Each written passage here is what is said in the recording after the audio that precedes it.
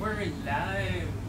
Um, today is our um, Saturday Live. We're here with Tito Tony Suvega and Julia of the House of Mystics. So we'll be talking all about um, spiritual awakening. Kung paano tayo na-awaken into spirituality and kung paano tayo naka-gain nag-gain or di kaya natin yung mga abilities natin. Supernatural abilities. Ayan, yun yung pag-uusapan natin for this day. Okay, actually medyo mahaba-habang topic. So please, please, please, disclaimer again, uh, be open-minded sa mga ano natin, uh, ito tackle dahil medyo sensitive siya. Okay? Dahil every, each and every person has different uh, enlightenment na tinatawag or awakening. Ayan. Okay? Hi, Kaizel, how are you? So, kung may um, kwento kayo all about your awakening, please share with us by commenting below. So, later, um, a psychologist will be commenting din po mamaya sa atin. Okay? Saan na? Paging Kebs. Ayan, Kevin La Peña. Okay? So, please, please, please, uh, do comment. Sa bubungan, at uh, nagsasampay ako ng medyas ng ate ko, nakakita ako ng malaking kamay, sinalo niya yung bubong, at yung bubong hindi pumlakda sa, sa lupa. Nag-swing siyang pa ganon, nag-swing. At saka bumabang ganon. Though I do not know kung sino yung hand na yon Oo. and hindi, hindi ko siya nakausap. Basta, tinulungan niya lang ako na hindi ako madisgrasya. And that started all. Kasi from there, ang lola ko kasi namatay ng 1956, eh ako nabuhay ako ng 1955. Pero, until 1969, katabi kong matulog ang lola ko. Katabi ko siyang matulog. I'm seeing her as if uh, physical siya. Ganun. So yung awakening na sinasabi is something like this. May kanya-kanya tayong karanasan tungkol dun sa spiritual awakening. Hindi naman lahat ng spiritual awakening ay nakakita agad ng bukas agad yung third eye. Hindi ganun yun eh. Ang spiritual awakening is you come to understand what is the world about and what is your role in the world you are in. Yun ang spiritual awakening. It does not mean na ang spiritual awakening ay kailangan mong maging religyoso, palasimba ka, ma-attend ka ng misa o ma-attend ka ng mga services ng church ninyo, o ikaw ba ay lagi ka doon sa Muslim mosque, o ikaw ay Muslim. Hindi po ganun ang, ang spiritual awakening. Ang spiritual awakening is happening inside you and you recognize the God outside you and the God inside you. Yan ang spiritual awakening. Ngayon, lumalabas din yung salitang nirvana. Ang nirvana is the spiritual awakening and na-heighten ang iyong belief about it. Nakar- nagkar- nagkaroon ka ng karanasan na tumaas ang iyong spiritual awakening. Ergo, nakarating ka sa nirvana. Yan yun. Yun naman, kundalini is something like this. Ang kundalini kasi ay tinutulungan niya tayo na i-push yung energy na yun na nasa lugar ng Malkut na tawag. Yung Malkut na yan, yun yung kingdom. Ipupush ni Kundalini yan hanggang sa makarating dito sa shoulder. Pag nasa shoulder, makakakita ka, kung may third eye ka, makakakita kang konti. Pero pag umakyat niya sa throat, at nakalabas na siya sa bibig, umabas sa mata, pumasok na sa pineal uh, gland, ang mangyayari sa'yo, magiging everything inside you. Ano-ano yung gusto sabihin? Magiging clear empath ka, magiging clear audient ka, magiging clear sentient ka, marami, lahat halos yun. So, yung sinasabing clear empathy na sinasabi, ito ay isang gauge para malaman natin kung ang isang tao ay spiritually awakened. Kung hindi ka empath at hindi mo nararanasan ng empathy or you don't empathize with your surrounding, with your very own self, ergo, hindi ka pa spiritually awakened. Kasi isa yun sa gauge na masasabi na ikaw ay awakened dahil nga umakyat na si Kundalini dito sa loob ng ulo mo. Nandito na siya. Kasi gumagapang yan eh. Ay, una hanggang dito lang siya, materially inclined ka, Mhm. or yung sinasabi mong spiritual awakening, eh hindi yun spiritually awakening, kung hindi yun ay you came about to know. Nandun ka pa lang sa bungan. Wala ka pa sa loob. Ayun, dyan maraming nadadali actually. Kasi minsan, kung hanggang doon lang, tapos nakita ka agad nila, oh, ganito, ganyan, ganyan. Oo. Pumapasok po yung spiritual ego na tinatawag. Oo, tama ba? medyo very dangerous yung spiritual ego, tsaka yung tinatawag na, yung nga, yung sarili na yun. Dahil yun ay ah, dangerous in, a way that, okay, balikan natin yung ano ah, yung plataforma ng ah, anthroposophic medicine. Sa anthroposophic medicine, ito lang ang save eh, na save to. Nung inano ni Jesus Christ, uh, he, he, shed he shed the blood and tears and etc. sa mundo, ang nasave lang po ito, hindi itong ibaba. So kung hindi siya nasave, ergo ito, sakop pa rin ito nung realm nung apat o lima. Tama, apat, apat pala. Kasi ito yung Christ self or Buddha self. Tapos merong Satan plus sa kanan, Satan negative sa kaliwa, merong Ariman sa hip, Ariman plus and then Ariman negative. From the from the yesod o yung sinatawag na yun, sex part or yung gonads, bababa ka sa paa, yun na yung ano, yun yung azura. Ayun. Very dangerous yung ano, yung yung ah, yung ibig sabihin yung kundalini ay nandito lamang. Hindi pwede. Kasi pag hindi siya umangat doon, ibababa siya uli ni Satan plus and positive or Satan negative and plus. Pag naibaba kang ganun, iba na ang dating ng, ng ano sa'yo, ng mga bagay-bagay. At saka iba na rin ang interpretation nila. Yes, magkakaiba tayo ng interpretasyon dahil iba yung mundo nung, nung apat na yun eh. Si Asura, lalo na si Asura. Si Asura does not comply to the rule Yes. and uh, he does not know what is right and wrong whereas si Satan positive and Ariman knows about, they know about that pero hindi sila sumusunod. Or kung ngayon man, lumalabas yung salita natin sa English na objectivity. Sinasabi nila dahil nga ang siyensya ay objective, di ba? Yes. So, ganun din yung Satan and Ariman. And guys, please stay tuned ah. The, later kasi may mga paraffle tayo. Okay? So, ayan, stay tuned kayo. Maghintay kayo ng raffle. I'm sure yan naman yung gustong-gusto natin Oo. lahat. so, at saka make sure din kukunin nyo agad yung mga freebies nyo. Kasi minsan nakakalimutan namin sa sobrang busy. Okay? So, later we'll be raffling, um, yeah, this one. So, this is a fluorite charm. Pwede nyong ilagay sa bracelet nyo. Ito yan, may lock siya. Okay? So, we'll be raffling this, uh, three pieces of this one. So, please, please, please, stay with us up until the end part of our um, show. And don't forget to go to Pink's Trading Gems later for their Saturday story sale. Okay, nag-start kanina 1.30. Hmm. Okay, ngayon, pahinga lang muna si uh, Pinky's Trading Gems habang nanonood sa atin or kumakain. Ayan. So, my experience naman with regards dun po sa ano, spiritual awakening, kasi hindi ko rin matatawag na spiritual awakening eh.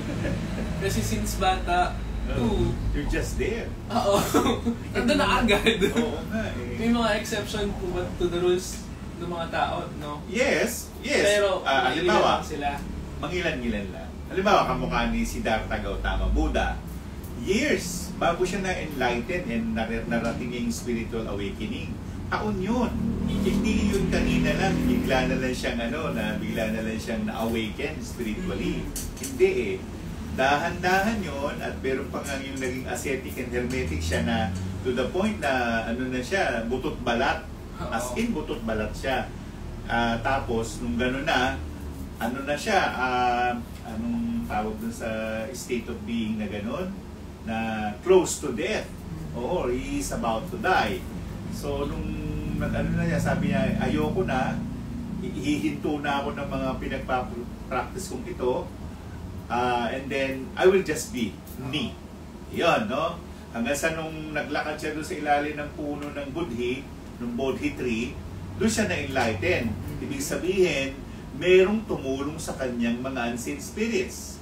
At siguro naawa ang mga unseen spirits sa kanila, da, sa kanya dahil eh ang tagal-tagal mo nagre-research na dito lang kami. Parang gano'n na sinasabi kay Siddhartha. At nalaman naman niya, nalaman niya yon and all the informations open to to his very own eyes na ano na nakita niya na ito pala ang nagaganap sa spirit sa spiritual world. Kasi ang spiritual world ay hindi ito yung nakikita natin ng mundo ngayon. Hindi rin yan po yung imahinasyon ha. Iba rin yan. Iba ang imahinasyon, iba ang fantasy, iba ang dream, at iba rin yung spiritual world na sinasabi. Hindi spiritual world yung panaginip. Hindi rin spiritual world yung ano ka lang, yung wishing upon a star. Hindi. Ang mga spiritual... Daydreaming. Oh, daydreaming. oh, ganon. Oo. Hindi, hindi yun yun. Ang, ang talagang spiritual awakening o spi- uh, you go to the spiritual world and you understand that there is the God, there is this one, there is this one, there is the sage, there is the ganon. Ganon ang uh, spiritual awakening. You came to know about them.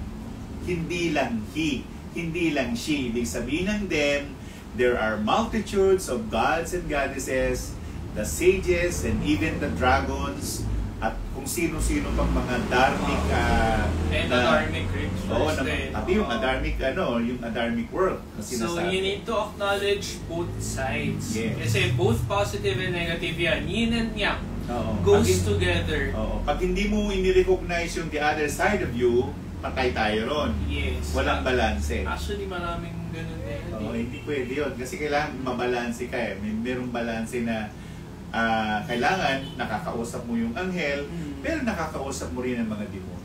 Oo. And guys, hindi lahat ng mga demons salbahe ha. Oo. Sumusunod lang talaga din sila sa mga kung sino man nagsamon sa Oo, kanila. ganun yan. Dahil sa kanila, ang kalakaran is more on contracts.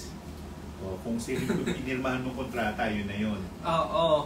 Pero pagka hindi nila nakuha yung goal nila Mm. na in-offer mo sa kanila, ikaw ang babalikan nila. Oo, yan yung sinatawag na the conjurer Mm. beca- became the conjured.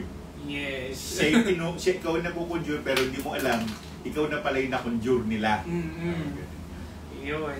And there are so many history telling about that. Halimbawa, si Alicester Crowler, isa yan sa naging biktima ng the conjurer being Ayan si. Alistair Crowley. Oo, marami pa sila. Naging ano po kasi siya eh, sa ano, power nagpapa- power hungry actually, so mga power tripper. Pero may mga, mga may mga magagaling din like Carl Sagan.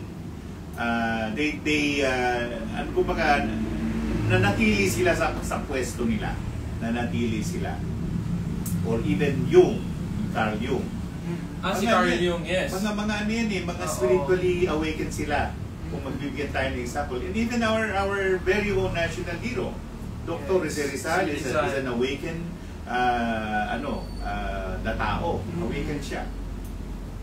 Kaya mukhang predicted na rin yun na mahuhuli siya at saka mamamatay. Yes. Nakaplan na yun kagad sa kanya. Kaya lang inutakan siya ni Jen, ni Kapitan Pulavieja. Yes. inutakan siya. Kasi alam ni Pulavieja eh, psychic si Pulavieja eh. Nakita niya ang Dr. Jose Rizal na mayroong bakod sa harap. No? Eh, siyempre, ang, ang, ang wish nilang ng doktor, mabaril siya sa harap. Dahil, ang, mag, ang mag, mangyayari doon, kahit siya barilin, dahil meron siyang bakod sa harap, hindi po siya mamamatay. Yun yun. Yun ang naging dahilan. Ngayon, nakita ni Pulavieja, yung gobernador nung panahon na yun, na ah, may bakod siya sa harap. Sa likod namin siya titirahin. Ganon. So, nung sinabi niya, sinabihan niya yung mga babaril na yon, sinabi niya, ah, sakutin, apunten. Pag sinabi ko ng ah, apunten, baril na, ah. Ganun ang sabi. So, kasi hindi nyo nahihintay yun yung salitang fuego. Sakutin, apunten, baril. Ganon. Hindi na nakaharap ang doktor. Hindi na nakaharap. Kaya sa Kaya kung tinamaan. mga pansin din nila, may parang millisecond may naunang bullet na Oo. tumama sa, ano Yes. niya, sa likod niya. Actually, wala pa nga yung fuego, binaril siya. eh. Oo. Ganun. Hmm. Okay. Now, ngayon, ayun na yung mga in- pinakaintay na lahat. Paano, ano kaya yung proseso ng spiritual awakening? Ayan. So, Ah, may mga may mga proseso naman. Ma- Madali naman ang mga proseso. Um, hindi naman, let me hindi say, ganun ka-complicated. oh, hindi ganun. Pero Madali tayo lang. lang minsan gumagawang... Oo. Depende po sa religion ninyo at depende kung anong path na dadaanan ninyo. If you want to be become agnostic, madali din yun. Pero kung gusto mo maging born again ka, maging Muslim ka o Kristiyano ka or other religions, doon kayo babaybay sa inyong mga religion. Dahil, eh siyempre meron pa rin yung relasyon niya sa religion, yung gagawin ninyo. Hindi hindi kayo pwedeng uh, you go beyond the bounds of your religion. Yes. Kasi una, magagalit yung mga ano ninyo, yung mga ministro ninyo, yung mga ganon. So, how do you go about it? Una, mag-soul cleansing. Yun, ask the forgiveness of the highest good. Humingi ka ng kapatawaran sa Kanya. Marami namang paraan ng pagiging ng kapatawaran sa Diyos. Kung sa mga Muslim, nagdarasal ng sikiryan o ng dua. Ang mga Kristiyano, nagdarasal yan ng salmo. Magdasal po muna kayo niyan bago kayo magsimula ng inyong spiritual awakening. Yun ang simula. Yun ang talagang simula. Go to the basic. Meron kang base. Ngayon, hindi ito yung magme-meditate tayo ha. Oo. At saka yung i-conjure natin yung mga chakra. Hindi yung ganon. Hindi yung Hindi ganon yun kadali. yung spiritual awakening. Oo, hindi yung spiritual Yan na yung meditation practice yun. per se. Oo, meditation Oo. ang tawag doon. Next time, we'll be tackling that one. Kung paano mag-meditate ng tama. At saka kung paano rin gumamit ng mala beads or japamala ng maayos. Oo, tama. Ayan.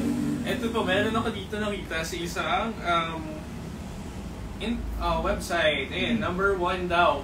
Pagka, yung iba actually, naka-experience ka. Like, for example, sa inyo po, yung Mm. case nyo, sudden death po yun, di ba? Mm-hmm. Okay? Life and death. Okay?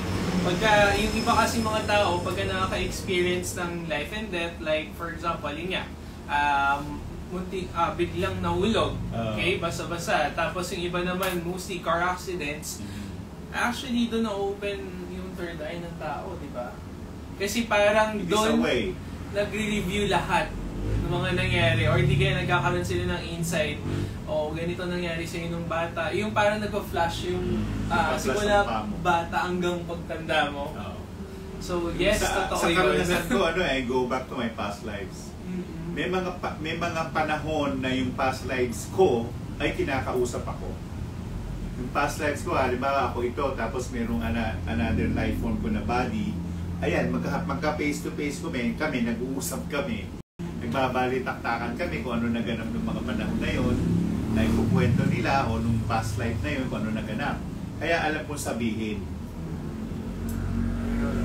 So dito, sinabi, number one nila is you feel discontent or di kaya detached sa world. Yeah. Okay? Minsan kasi pagka, for example, sa work nyo, kung routinary na yung ginagawa nyo, unti-unti kayo nawawalan ng passion, di ba? So, unti-unti kayo naghahanap ng bago na pwedeng gawin. Ang tawag po doon, divine discontent. Yun ang tawag doon. Ayun, divine discontent. Meron ka noon and then yung yung puso mo parang nabubuwisit ka sa sarili mo. Oo. Tapos tingin mo sa sarili mo, madubing madumi ka, nandidiri ka. That is already the beginning of the process. At saka yung parang may gustong-gusto kong gawin kaso nga lang walang time. Mm. Yun din yun. Isa yun. Okay? Though yung iba dumadaan ng pagsubok like nawala ng trabaho, Oo, nawala iba. ng pera, go poor, o Mm. talagang wala siya makain, doon nagsisimula yung tinatawag na spiritual awakening. Kasi binibigyan tayo ng Panginoong Diyos ng panahon para sa ating sarili na hanapin natin yung daan papalik, Mm. pabalik sa Kanya. Yun ang spiritual awakening. Umabalik tayo dun sa, sa source. Yun, yun yun. O pag nakabalik ka na sa source na yun, yun na ang simula ng iyong spiritual, awakening. And second naman, ito na, you've re-evaluated your beliefs. So, ibig sabihin, you are reflecting na ngayon. Okay? Bakit kayo nagganito? Bakit kayo na ganyan? O Kailangan tama mo ba kasi na ako ay araw-araw magsisimba? Oo. Araw ba, araw-araw ba dapat hindi na ako magtatrabaho?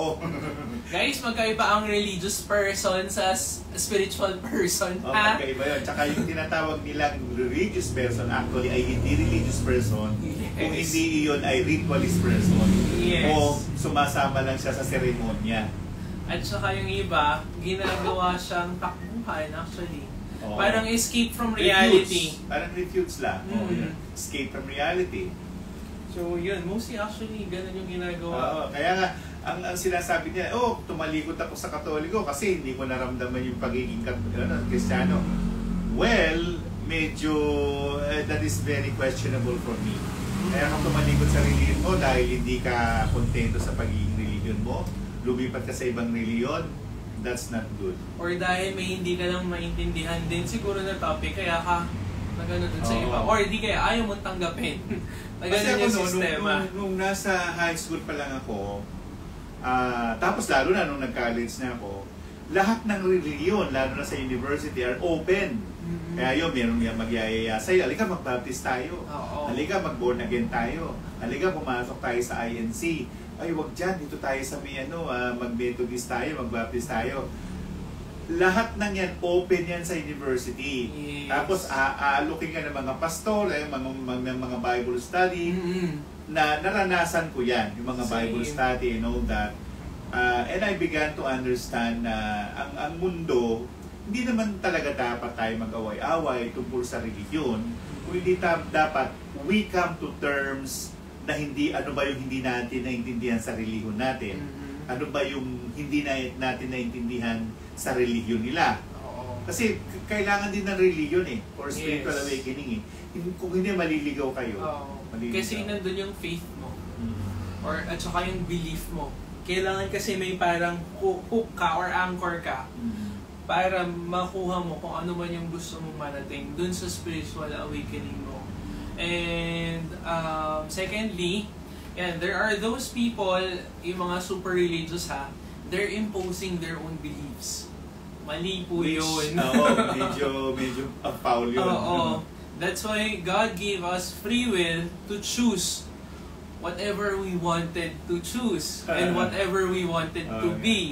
Pero ang maraming kasing pagkakamali. Oo. Marami, napakaraming pagkakamali. Halimbawa, yun, noon bata pa ako. Bata pa ako. Siguro in my, in my teens. Isang paring Irish Catholic na pare, si John Lempens. Yun eh, kasi nung araw ko eh, ako is naging seminarista. E di, siyempre, naka, nakaupo siya ganyan, walang misa, na nanonood sa mga tao, sa mga parokyano. And then, he called on me. Sabi niya, Tony, come here.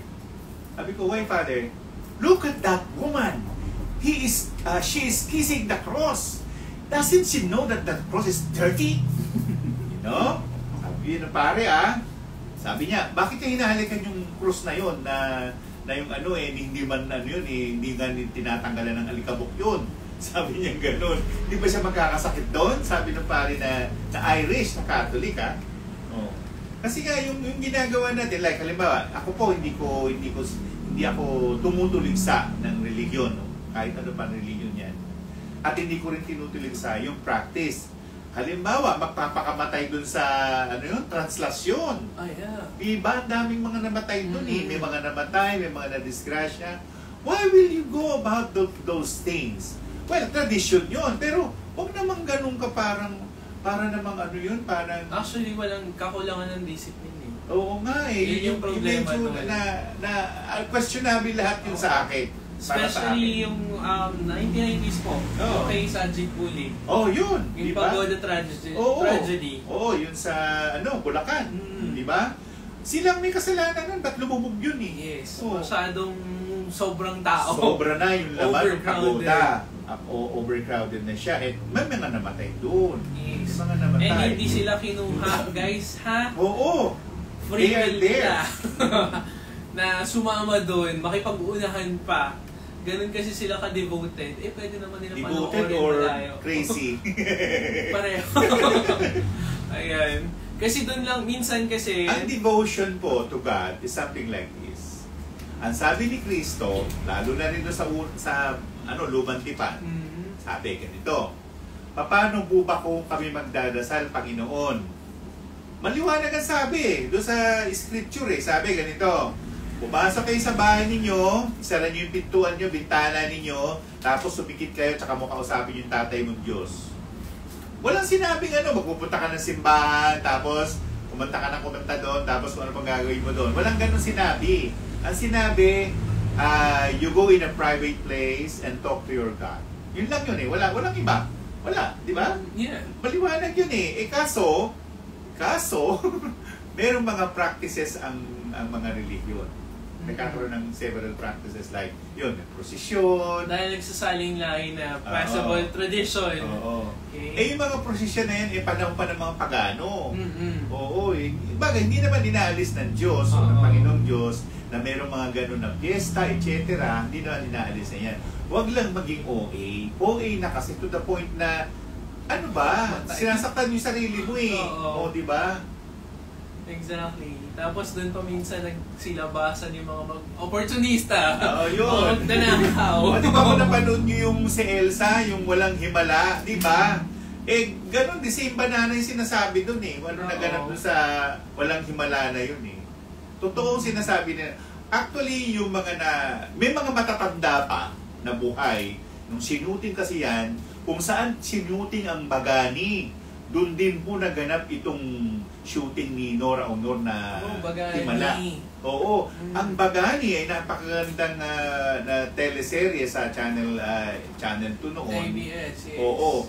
At ah, yun ay sinuting talaga on the spot doon sa mismong ano ng ano. May mga matatanda doon na mga nakausap kami o nakausap namin na ay naman, sabi gano'n, lahat kami dito napakas na pasali kami sa ganyan, ganyan, ganyan. At doon, meron silang tinatawag na spiritual awakening. Kasi sinabi nga na, oo nga naman, itong, itong, itong si Elsa, ang naghihimala. Mm. Pero hindi pala naghihimala, fake pala. Di ba? Same with yung isa dun sa Dancing Light daw. Oh, yung dancing light Sa na. Agoo. Oo, eh, naku, La Union. hirap magsalita ah. Kasi ang sinasabi po ng matatanda ganito, maliwanag na maliwanag ang sinasabi ng mga matatanda natin. Kapag daw ang santo ay nagmilagro sa demonyo, yan ang sinasabi ng mga lolo't lola ko noon. Kaya hindi ako nanilay umaagos na dugo dun sa bahal na dire. hindi. Hindi yan. Hindi, hindi tama yan. May nakita rin po kami dun sa Quiapo Church actually. Ah. isang station of the cross nila. Oo. May tubig na lumalabas dun Tubig. sa ano. Pero sinilip ko siya, Ah, wala. Walang Wala. tube or walang anything. oh, it could be true. Oo. Eh, yun lang mga mga petals ng mga roses na nahulog doon sa kampanaryo eh. At saka po, ano, dati sa bahay namin kasi very, si daddy, for all you know guys, my dad is a spiritual practitioner din. Okay? Pero hindi niya ako tinuruan, ha? oh, iba, iba yung alam namin. eh. Oo, hindi niya ako tinuruan. Though, pagka may pinupuntahan siya, parati niya akong kasama, parang assistant niya. Yun. So, meron po doon parang nag-offer minsan ng mga roses sa amin yung mga patients ni Oo, dad. oo. Tapos, nangingi, nagpa-pray sila doon, nangingi ng sign. Oo. Minsan may humingi ng sign yung isang patient, babae siya, Mm. ang sign niya na hiningi na maging um, pink yung roses. Ba? White rose yung dala niya. After kinabukasan, naging pink. Oh, di ba? Tapos nung natuyo yung ah, mga petals ng roses, Holy Family. Oh, yung naka-imprint. Naka-imprint Naka-imprint dun sa, ano, petals. sa petal. Okay? That is a sign of miracle. Oh, Yun, yun talaga, miracle yun. Mhm.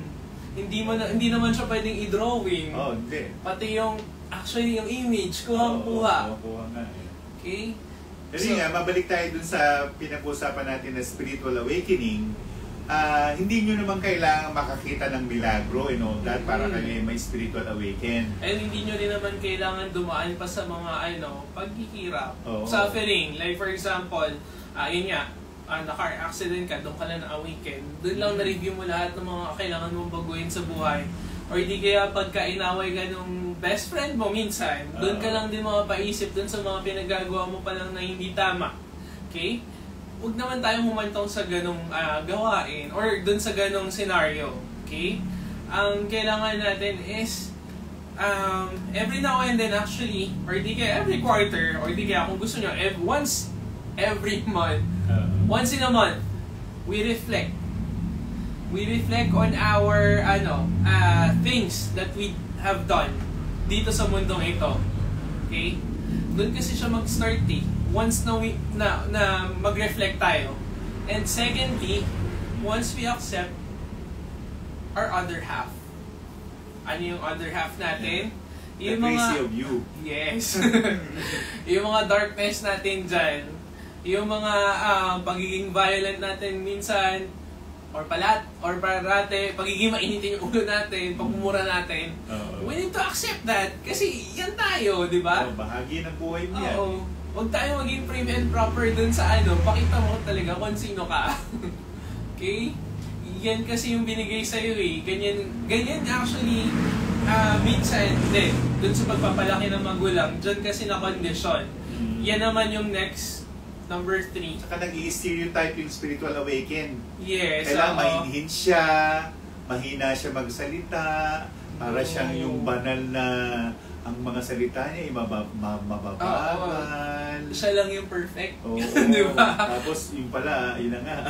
Oo. Malabas na, holier than thou ang tawag Oo. doon. Prim and proper. Kung ganun ng ano, hindi ganun ng spiritual awakening, tinatawag na holier than thou. Stereotyping yun. Oh, stereotype lang siya. Or di kaya minsan, magiging best actor or best actresses. Yeah. Yun. And next guys, um, unti-unti tayo nagiging intuitive. Okay? yun, yun, yun ang kasama. Kasama Oo. yun. Unti-unting dumilinaw yung mga visions natin. Minsan sa dreams, nagiging vivid yung mga dreams natin. Minsan nako-connect natin yung dreams or di kaya na-interpret natin kagad. Okay? So kasama yun dun sa spiritual awakening natin. Clear, uh, clairvoyance po. So, Even if natutulog ka, lahat na pagka minsan pagkagising nyo, parang pagod na pagod ka. Kasi naglakwatsa ka eh. Oo. Kasama yun sa spiritual awakening. Kasi pinapakita sa iyo ng um, parang holy self mo or di kaya higher self mo na hey, gising, lahat tayo, lahat meron, lahat possible. Walang imposible. Walang imposible talaga. Mhm. Kasi nga sinasabi rin ni Kristo na darating ang panahon, sabi nga niya, mas mag- magiging magaling pa kayo sa akin. Pag sinabi niyo sa bundok na lumipat ka ron, lilipat ka. Di ba? So, in nowadays, in the age of Aquarius, meron na po mga taong na nakakagawa niyan. yes. Hindi lang aware o kung hindi naman, hindi sila sinasabi o hindi, hindi, hindi sinisiwala. Kasi po yun ay dapat uh, in, in deepest secrecy.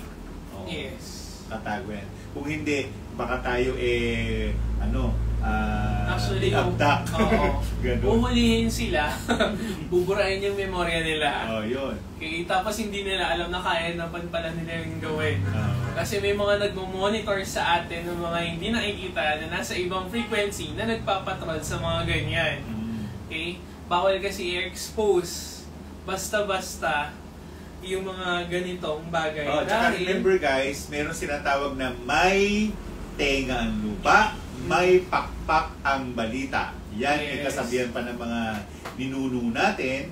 At ang ibig sabihin niyan, the unseen is hearing you, is seeing you, and all that.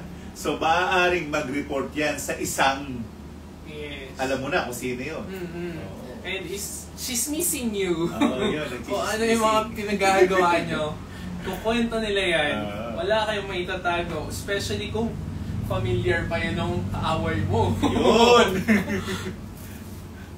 I-report ka. Oo, i-report ka. So guys, kung may mga questions, feel free to comment below all about spiritual awakening. The next, um, purging, Tito. Kasama, di ba? Mm, kasama So guys, purging. ang tinatawag na purging is yung um, minsan nagkakaroon tayo ng sudden headache. Mhm. Okay? Minsan, ubo tayo ng ubo. Yung gut. Oo. Minsan nagsusuka. Oo, nagsusuka. Or di or kaya dumi ka dumi. Oo, Oo. yun, ganun. Okay? Then yung iba naman gusto lang matulog. Oo, yun. O, matutulog talaga siya na matagal. Oo. Oo. Kasi doon, nire-recalibrate yung body mo. And dito, Mm. once lang po ba yung mararanasan? Or every, every now and then. Every now and then. Habang umakit yung level mo, you will experience, minsan ka mas malala eh. Mas malala. Or you may even experience uh, Yung yung ah, vertigo din, actually. Oo. yung iba sa vertigo. vertigo sa yon at saka yung ano yung ibig sabihin magiging masasakitin ka. Mm. Ganun.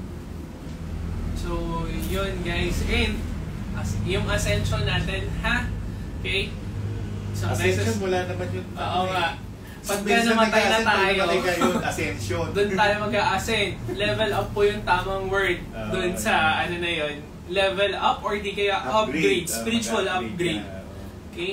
Ibig sabihin nun, kailangan i-accommodate ng body mo yung bagong energy na ibababa sa'yo or ida-download sa'yo.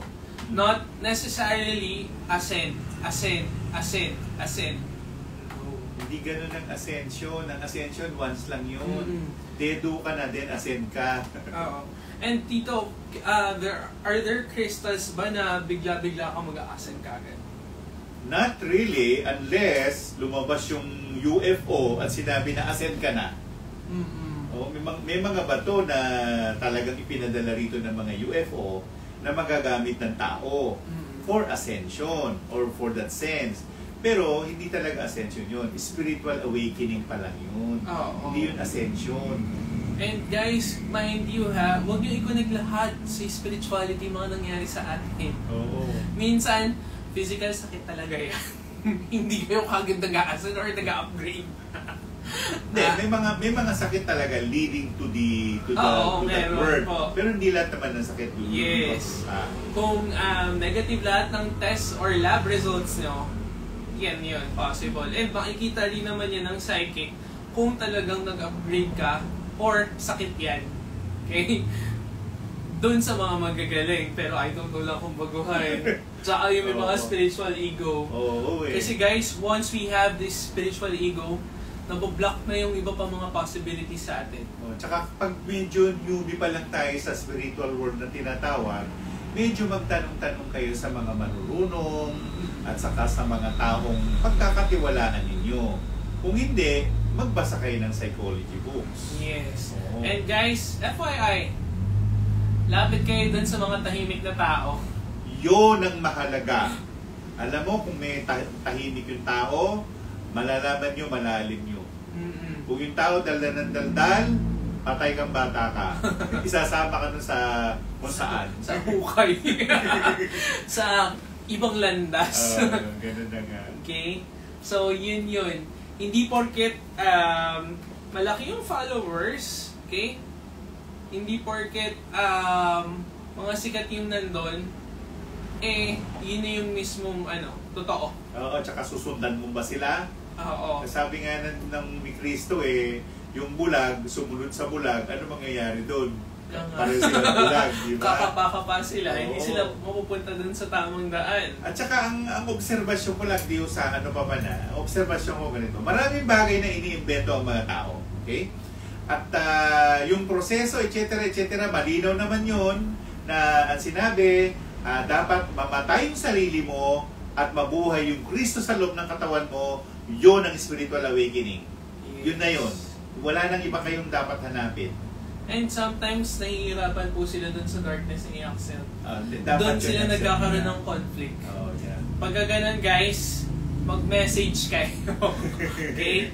Kasi it will lead to um, several mental issues. Self-delusion. Oo. Oh, delusion yun. At saka mag ano yan, magre-regress kayo na magre-regress. Oo. Ibig sabihin, ah, magiging to paabante kayo, o stagnated kayo. Oo. Ang tawag namin doon, spiritually uh, stagnated or zombie ka pala. yes. Hindi mo alam, zombie ka pala. Oo. Kung napanood niyo yung ano, yung Soul ng Disney, di ba merong ganun yung parang zombie dahil puro trabaho, trabaho, trabaho lang iniisip. Routinary ginagawa, nawawala yung soul niya. Nawala na talaga. Oo. Tapos, nung binalik, nung um, tumutulong, mga light workers, Light workers. the true light workers, okay, umokay siya. Nag-quit siya dun sa work niya. Then, nagtayo siya ng sariling negosyo Oo. or something. So, yun, isa rin yun dun sa spiritual awakening din, di ba? Kasi ako nga, noong mga year 2000, year 2000, ano ako noon eh, talagang nasa corporate world pa ako noon.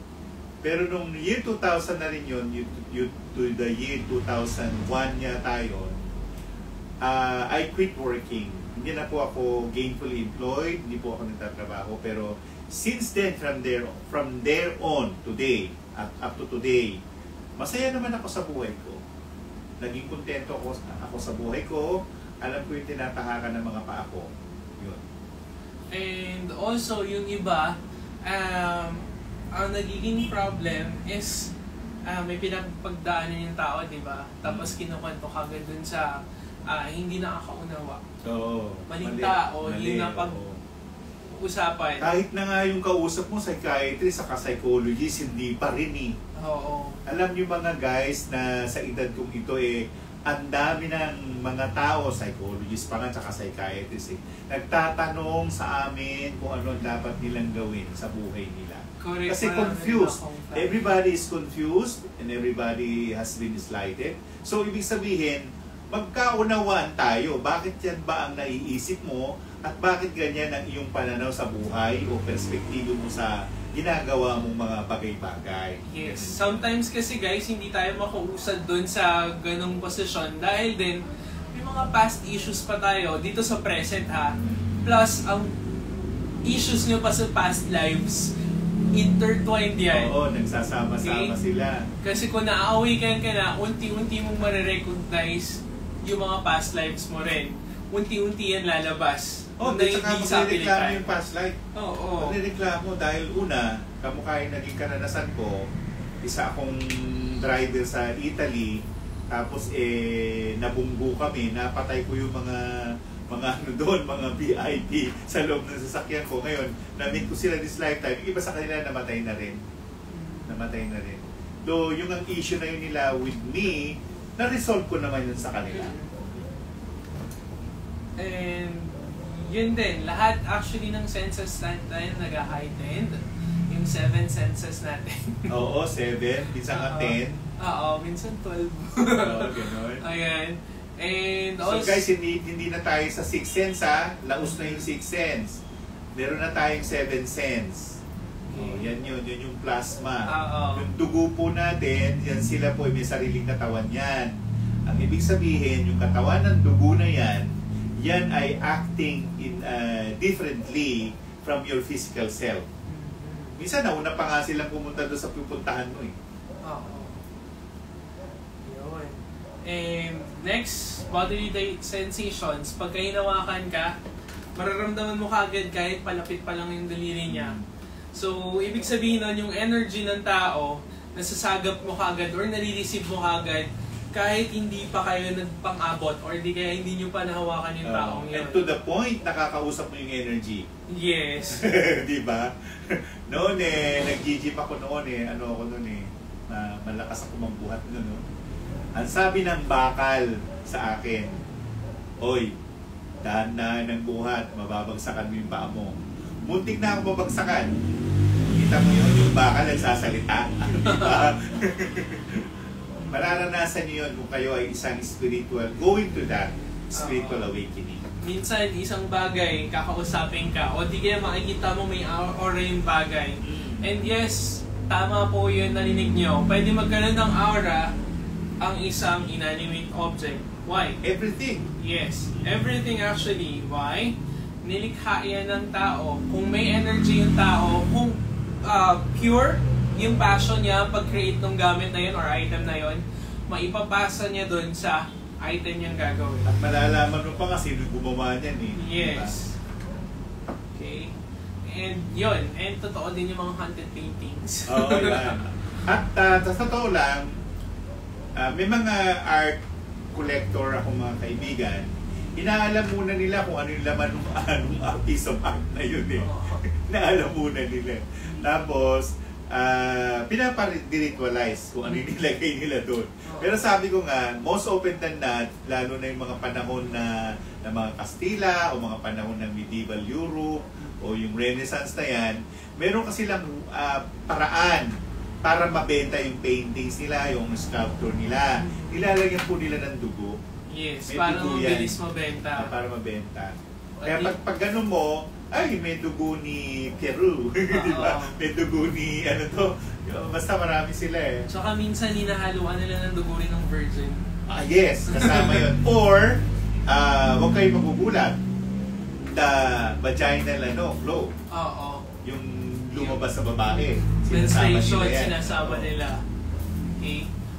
Dahil meron daw certain na nag-attract doon para mabilis mabenta or dispatch Correct. siya. Correct. Okay? Though Minsan, it's not devilish, it's just a Oo. practice. Practice lang yan.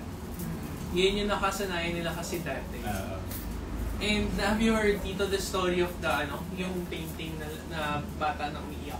oo, oo. Na parating nagkakaroon ng sunog. Di ba? eh, dapat yun, i-blessan yun para Oo. hindi na magkag- magkagawa ng ganun. Kasi meron yung impri- imprinted actually na feelings, Oo. na memory. Kaya paulit-ulit yung cycle. Nasa time loop sila. Okay, yun yung kailangan ni Allah. So, next also, dun sa spiritual awakening, um, minsan may mga pagdadaanan tayo mga problema. Pagsubok Pagsubok. or challenges. Oo. Okay, kasama yan. Huwag nyo silang aayawan and huwag kayong susuko. Oo. Dahil minsan, nandun na pala yung ginto. Oo, harapin nyo. Oo. Ituloy-tuloy nyo na. Tapusin nyo na. No retreat, no surrender yan. Kasi Oo. nga sabi nga nung mga mentor ko nung araw, kung mag-aaral ka ng pag-aalbularyo, sabi sa akin, walang sukuan ito. Kasi Yes. until you die. ganun Oo, yun oo. eh. Until you die. Kahit na ang spiritual awakening, ganun din po. Hindi pwedeng nagsimula ka and then you will stop somewhere. Hindi ho pwede yun. Back to zero ka. back to zero at saka pwedeng mag-iba rin ang iyong pag-ugali at Exactly. magkaroon ka ng ibang path. Mm-mm. Imbis na maging ah, maaluan yung maging buhay mo, baka mas mahirap ka sa mga daga, sabi Daga, nga nila. yes. And yun, Tito Tony, there, ah, is it a myth or fact?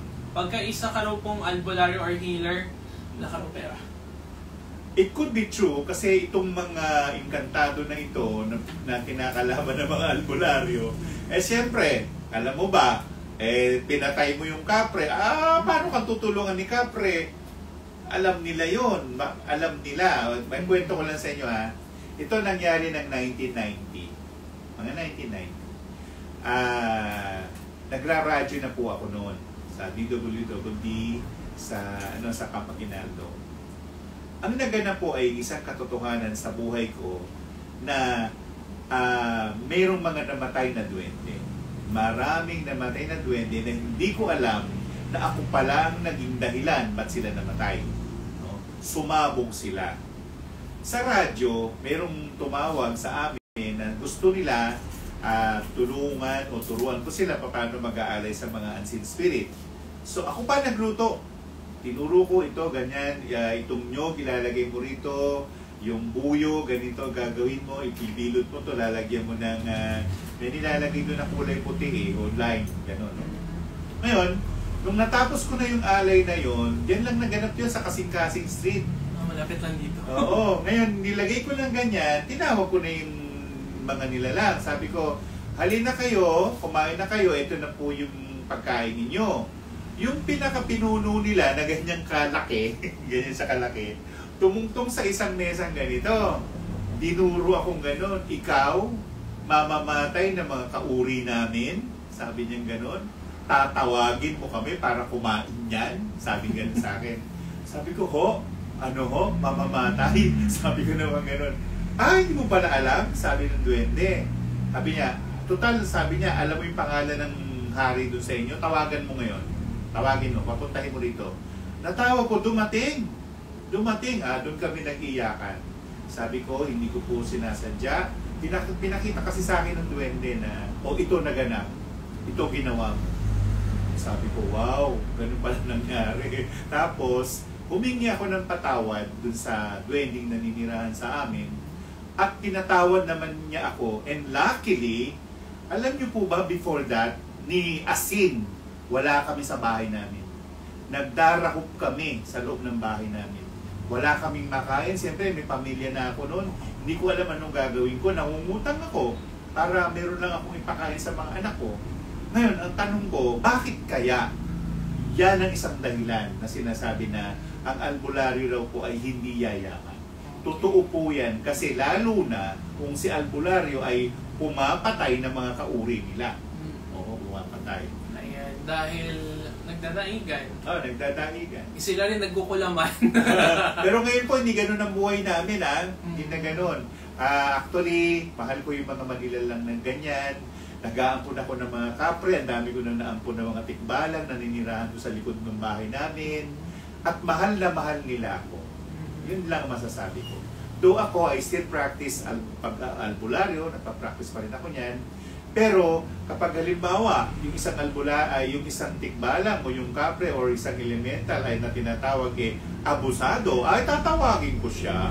Halika rito. Ano bang problema sa iyo ng tao na yan at bakit ko siya ginaganyan? At pag nagsabi ng gano'n, sasabihin ko naman sa tao, eh ganun pala ginagawa mo. eh.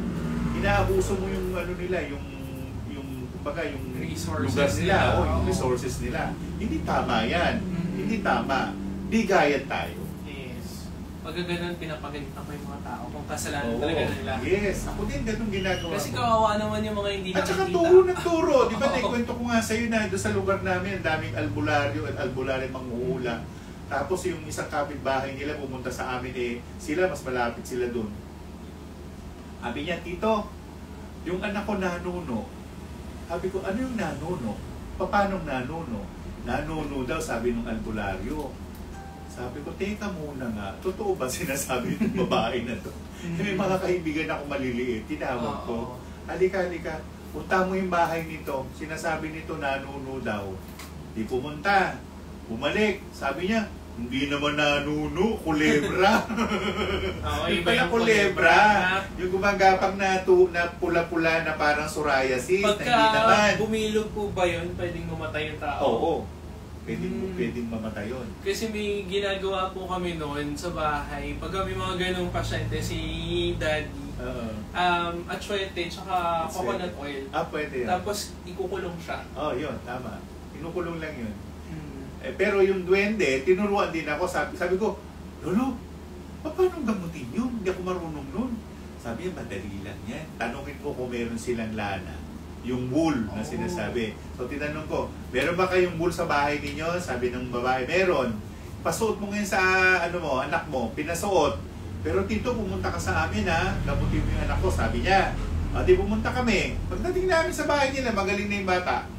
Magaling na yung anak niya. Wala nang sakit. Wala nang pula-pula. Di ba? So, medyo, yun lang ang ano ko, no? Yung mga lalo na yung mga kababayan natin, na mga nag-aalbularyo, mga nanggagamot, etc. Pag nanggamot naman po kayo, maging makatotohanan kayo. Kasi mamaya mamayari tayo sa tinatawag na Revelation Oo. 2010. Yan po eh, kasama po tayo sa uhusgahan na, aba, nanggamot ka pero hindi ka naman pala manggagamot. O, nanggamot ka pero yung pala lalo naligaw sa iyo yung ginagamot mo. O, hindi tama yun. At saka yung parating maiingay, Oo. pagka may dala-dala pa ko, ang gumaganon ganon Hindi actually, guys. Hindi ganun po yun. Ha? Hindi yun totoo. performance lang yun. performance level. Oo, kung gusto niyo ng performance, minsan nakikita rin yan sa pag-exercise. Oo. Tsaka ang panggagamot naman, silence yan. yes. Kahit ang exorcism, in in silence. silence yan. Eh, pag narinig ka nila, nakanarinig ka ng mga mga demonyong may sungay na yan, eh, dudumugin ka ng mga yan. Oo. Kukuyugin ka yan. Oo. Especially kung may mga traps pa yun nakapaligid Oo, kaya nga dapat, you, you pray in silence, you pray in your mind, wala kang ano, hula balu na tinatawag, wala kayong tawag sa Tagalog, chorba. Oo. wala kayong ganyan. Ayan, may comment dito. Si Abigail Lapid. Wow, you're here po. Hello. Kilala niya tito? Uh-uh. Ayan, nag-message Hello? sa Facebook. So, Facebook guys, yan. uh, we are we are simultaneously live sa Facebook and sa Instagram. Ngayon, parapol po muna tayo. Sige. Okay, Tito, ano yung ano, mechanics natin for this uh, for this item? Eh, ah, sagutin lang nila yung tanong. Oo, kaya Tito, anong question niyo sa Sige, kanila? tanong ko para dito, ha? Ito, ito yung sinasaw. Anong tawag dito, James? Fluorite star. Fluoride Star. Ito ang tanong. Ah, kailangan ba na ikaw ay may relihiyon para magkaroon ng spiritual awakening? Yan. Ano, sagot na kayo. Yes or no? Comment your Oh, yes or answers no lang ang sagot. now.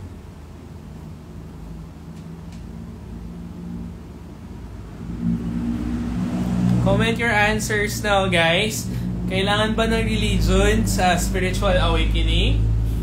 Comment your answers now. For si Pao Serrano, no. Catholic and Panda, not needed. Question mark. Sila? no. Tatlo ba yung bibigyan? Um, ano po yung tamang sagot? Lahat lahat ng sumagot na yun, yes. Ah, ayan, Ay, si yung yes, Arvin, ha? Yung Arvin, yes, yes, no. po. Hindi, mali yung yes. Ang dapat na sagot no o hindi dapat. Ayan, congratulations to Miss Power Serrano. Okay, you won the Fluorite Star. Okay, so please uh, claim it later na lang after nung live. Mag-book na lang kayo, yun na lang yung babayaran nyo, yung Oh, shipping yan. fee. Okay? So, um, yeah, balik tayo. Ah, sige, meron pa isang tanong? Ta- Mag, mag, mag-ano ka pa?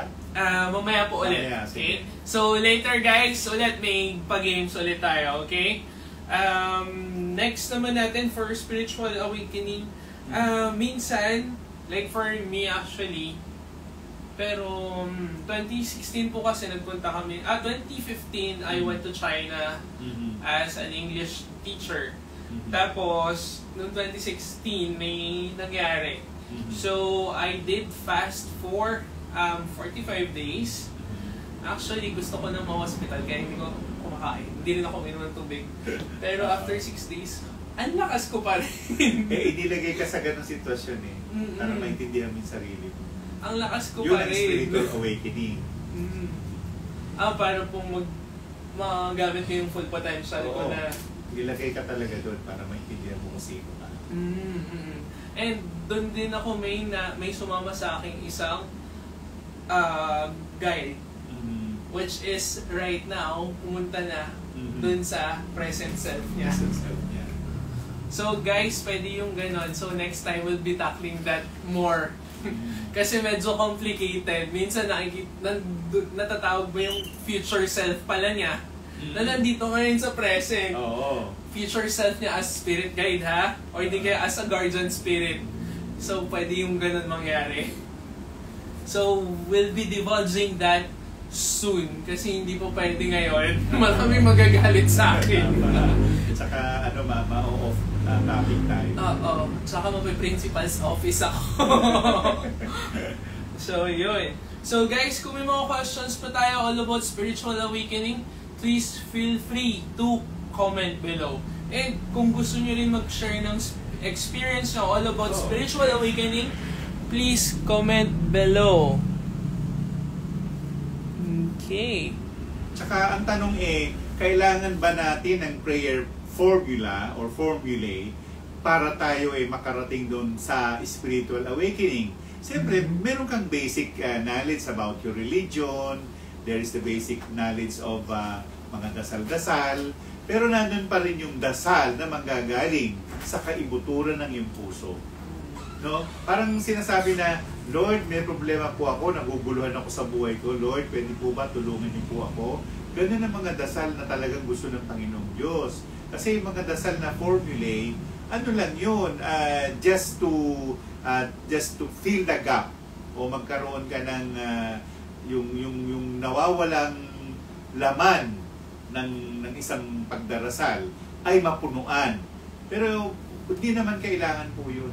Do, kailangan ng rosaryo, kailangan magdasal ng sikir, kailangan ng dua, kailangan magdasal ng Quran, kailangan mong magbasa ng Holy Bible and all that, kailangan mong magmantra, kailangan po lahat yan. Pero siyempre, nandun pa rin yung, ah, yung ano mo, yung tinatawag na, tawag doon, ano eh, yung parang hands-on ka sa Diyos na kinakausap mo. Hindi mo siya kinakausap dahil ano lang, meron kang kailangan or for supplication. Eh, yun lang, yun lang salita na, Lord, bahala ka na sa akin ha. Oh, yun lang salita na yun, mal- malalim na po yun. Actually, yun po yung mostly problem. Pag Oo. kami kailangan, doon lang tumatawag. Tumatawag. Pero hindi eh. Tinuruan tayo ng Panginoong Isus eh. Ang sabi, magpasalamat muna bago manghingi. Mm-mm. Ergo, ang magic po ng pag-grant ng ating mga wish ay yung magpasalamat ka na muna Thank you Lord sa binigay mo sa akin ganito. Thank you Lord, ganun. Thank you, thank you ka lang. Wala ka nang ibang sasabihin. And you will recognize and you will notice na ang buhay mo eh umaangat. Siya. And spiritual awakening coincides with the law of attraction. Oh, yun. Yung, yung law of tra- attraction, maganda rin pag-usapan yun actually. Yung law of attraction is something like this. Kung nag-iisip ka ng all things positive, blah blah blah, lahat ng mga ah, lumalabas sa utak mo, sa salita mo, at saka sa mga ginagawa mo, eh halos hindi mo naman pinapansin kung may problema, may chismis, hindi mo pinapansin yan eh. Tapos, ma, ma, mapupuna mo na lamang na ang lahat na nangyayari sa'yo, yung gusto mong mangyari. Mm-mm. Ganun yan. Masusunod according to your plan. Oo. Okay, yun yung law of attraction. Meaning to say, you don't uh, think about the future. Ah, You just think only about now, present. Oh. Now. just be. Oo. Sabi ng Panginoong Isus eh, ganito sabi niya eh, kayo na mga ano mga mga tao na hindi mapa, ma- walang sampalataya, sabi niya ganoon. Kayo ba, halimbawa, humingi kayo, humingi kayo sa magulang niyo ng isang bagay, hindi ba niya bibigay yon? Eh, bibigyan ba kanya nila kayo ng ahas o something? Eh, how much more with God kung hihingi ka sa Kanya? Kaya, Oo. knock, and it shall be open. Or seek, and you shall find.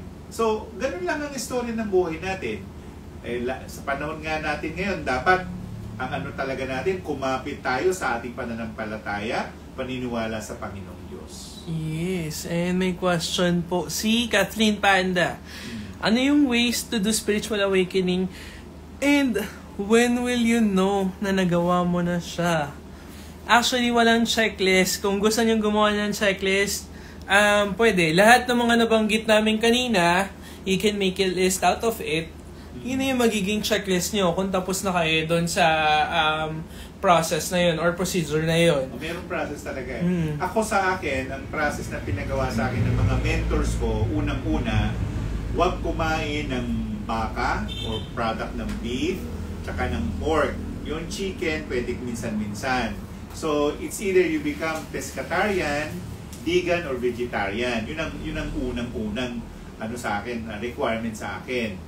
Dahil kung hindi, mabibigat ko kasi yung mga orasyon na binigay sa akin, medyo yun isasabog yung spiritual na nakatawan ko, hindi matatanggap.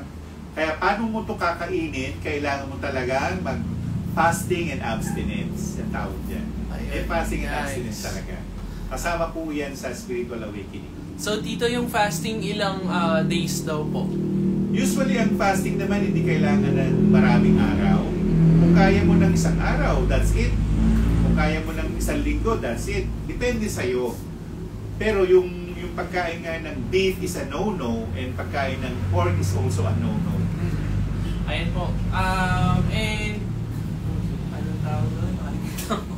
But anyways, may nagtanong doon, pero um, all about entities and elementals. Paano Ah. raw po malalaman kung nature spirit siya? Ay, napakarami naman noon. Oo. Kasi hindi lang naman yung mga duwende pinag-uusapan natin dito eh. Kasi What? meron ding ano eh, meron ding ah, yung mga nakatira sa kakahuyan, yes. yung mga hindi na-identify or categorize na mga ganito-ganito, yun eh mapifeel nyo po sila. Mapifeel nyo Mm. sila. Tsaka kung ang buhay ninyo eh maalwan, malamang masaya yung mga yan. Kung medyo taghirap kayo, malamang meron kayong ginawang hindi maganda. Para sa kanila, oo. Ayun. And guys, may mga questions pa tayo. Ayan, and Kathleen Panda, you can watch our IG live. I think natakal ko siya isa-isa per ah, number din. All about the spiritual awakening and Oh, mysticism. Oo. Kanina.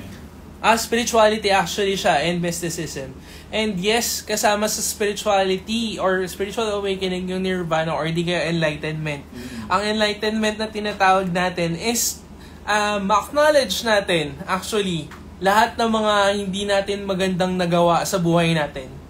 Kasi kailangan natin ng acceptance. Kung hindi nyo na kung hindi nyo siya i-accept, mahihirapan tayo. Gagawa tayo ng sarili natin na mundo wherein tayo lang yung bida.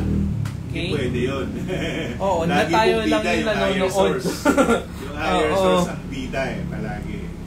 Mm-mm. And tayo lang din nasusunod nun. Maski humingi ka ng advice dun sa ibang tao, Oo. di mo naman din papakinggan. Parang paikot-ikot lang din Oh, kayo. it, it becomes a vicious cycle. Oo. So, paano kang makakaahon dyan? Yun. Stagnated ka. Yes. And ikaw mismo dapat sa sarili mo, ikaw mismo lang ang makakapaglabas sa sarili mo doon or makakapag-break nung cycle na yun. Oo. Kasi- At mabuti nga na gawin ninyo ang proseso habang buhay pa kayo, meron kayong physical body. Kasi kapag wala ka ng physical body, how will you do it there? Yes. How will you do it there? You will still do it there. Magdadasal ka pa rin doon. Mm-mm. Magtatrabaho ka pa rin doon. Exactly. Okay? Hmm. And guys, ang fasting din po dito, di ba? Part din po siya ng sacrifice. Kasama yan. Kasama Oo. yung fasting. Okay? It's a part of your sacrifice, guys, yung fasting. For example, may gusto kang um, hilingin na medyo mabigat-bigat. Oo, mag-fasting ka. Tapos, um, sinabi mo doon na, ah, God, ganito kung gusto ko, bla bla bla, mangyari, masyado ka naging specific. Tapos, yung mga binitawan mong pangako, ayan, na magpa-fasting ka ng ganitong certain Ay, number of time. sa Diyos. Mga ganyan, ganyan, Huwag- ganyan. Magagalitin ng Diyos. Oo. Tapos Huwag kayong nangangako sa Hindi. Panginoong Diyos ang kahit anong bagay kasi ang Diyos ay magagalitin pag ganyan. Ayaw niya nang hindi mo tinutupad yung pangako mo. Ayang ka na naman, sasabihin niya sa'yo. Ganun yan. Ah, so, kayong ah. mangangako. Gawin lang ninyo yung dapat yung gawin. Ah, sabihin na lang natin, ano ba yung spiritual awakening? Does it lead to something? Oo. You become a, ano, a, a spiritual person. Nagiging banal ka. Na, naintindihan mo yung yung sarili mo. Oo. Naintindihan mo yung kapwa-tao mo. Naintindihan mo na yung Diyos nga eh, ano yan eh, ah, bumaba pa sa lupa. Tapos nagpa, nagpapako sa krus para lang, ah, ano to, ah, tubusin ang kasalanan ng tao. Yes. Di ba? And that's why din po, nagkaroon ako ng vow Dahil, um, after, matagal, long time ago kasi, yun nga, ayokong sinisira yung pangako ko. Oo. Dahil meron nangyari sa akin, hindi maganda pagka ganon. And, um, Ay, kasi, yung, yung nga lang, James, din mo ha, naikwento ko nga sa'yo, di ba, si Lola man ang sinukuhan. Mm-mm. And then, ano po kami, ano, nag, nagtanong yung mga tao, nasaan yung treasure? Di, ituturo ko. Parang ganun po, no? So, ang nangyari, dumaan na kami sa, bar, ah, sa, sa Mount Arayat, dyan sa may San Simon. Aba, eh, tuloy-tuloy lang kami. Bigla po kaming na, ano, na, na, ano, huminto yung sasakyan namin. Huminto, as in, so, huminto. Ayun, nung bumaba ako doon sa sasakyan, nakita ko si Loria Mar- Marian Sinukuan. Ang sabi sa akin, ganito, ikaw ha, sabi niya sa Kapampangan, ikaw ha, daan ka ng daan, oh. Di ba sabi mo, pag dadaan ka, babatiin mo ko? Yun ang sabi ng Lola. Ayun ha, nangako ka sa isang inkanto. Oo. Sinabi mo gano'n, pag Lola, pag dadaan ako dito, babatiin kita. Hi, hello, kiss tayo, gano'n. Eh, ba't ngayon, di ka, di ka, dumaan ka, di mo man ako, hoy! Nabigla ako. Ayan, bahala ka, sabi niya. Lola, huwag lang. ganyan. Sabi ko gano'n. Pero pinatawad naman niya ako, I know that. So, umandar naman, naman din yung sasakyan. Kasi- so, huwag kayong mangangako, lalo sa Panginoong Diyos. Huwag. Ayun kasi naging habit po ng ano, mga tao. Oo, eh, yung bang, Puro pangako, may sumpa, tapos sa papako. o manunumpa, ang tawag na, panata. Panata, Panata, actually. oo. Naku, naalala ko yung marami kapatid ko. namamatay dahil sa panata. Oo Okay? nga eh. Kasi ganun yung devotion. Oo. Oo. Ayan, may mga questions po. Ayan. Um, Katin Panda, how did you start being a healer po pala sa atin pong dalawa to? Um, can we try and study it? Kung nasa line mo ang maging healer, then yes, mabilis mo siyang ma, ano, magagrasp. Pero kung hindi, mahirapan ka sa practice actually. Makikita ng isang clairvoyant kung isa ay kung ikaw ay born healer. Usually, ang auric field mo ay mas kulay lilac, indigo, or violet. The more you become violet, the more you are very qualified to become a healer. Yes. Kasi yun ang healing race eh. Yun yun Mhm. eh. Kasi ang color purple or indigo or di kaya violet, it symbolizes the purifying flame of God. That's, a, that's a flame of God. mm Ang purifying, it means to uh, purify all the impurities around your body. Ergo, healing. Pero kung tawag ka, kahit na hindi ka mag-aral ng panggagamot, makakagamot ka. Mm-mm. Ano raw Ang po yung tawak po tawak? ng gagamot. ha? Ano raw po yung tawak? Ang tawak ay ganito. Di ang tao na, na, na pinanganak, no? Sa loob ng ano, sa loob ng ah, matres ng nanay niya, nandun din yung buhay na ahas. Yung ahas na yon pwedeng paglabas sa matres ng nanay mo buhay or pwedeng paglabas niya ipatay na siya. May mga ganong kaso.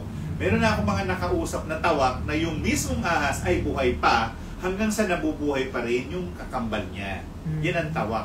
Ang tawak po, literally, sila ay nakakapanggamot ng kahit sa isipan lang nila or yung laway nga nila, nakakapanggamot yan eh. Mm-mm. Ganun po ang tawak. Ayun po, from Zap Dan, syn- seeing synchronicities and ringing of the ears, matatawag din po, part din po ba yun ng awakening process? Yes and yes. Oo, kasama yan. Paano po pala yung tito yung ringing of the ears? Ibig sabihin po ba may message na O, merong parating sa message na hindi mo naiintindihan. Mm. Remember yung mga yung mga ano, yung yung ah, ang lengguwahe po ng anghel, iba po ah. Mm-mm. Kaya ibang lingwahe nila, yung sinatawag na inukyan. Iba Yes. pong lingwahe yun. Paano mo maintindihan sasabihin ng anghel kung hindi ka clairvoyant? Mm-mm. Kailangan clairvoyant ka para maintindihan. Opo. So minsan merong something here in the inside your ear na parang may bumubulong o may parang siyang bubuyog inside your your ear, eardrum. Yun, kasama yun sa spiritual awakening. Mm-mm. Ayun po, from Kathleen Panda ulit, more on blue daw po yung chakra niya, yung auric field niya. How did you know that it's blue? Mhm. How did you know? Are you ano? Are you also clairvoyant? And did you see it blue? Kasi ang ang talagang ang ang talagang auric field ay binubuo ng uh, sampung kulay. Usually 'yon. Ngayon, ang nakikita lang nila ay yung rainbow color.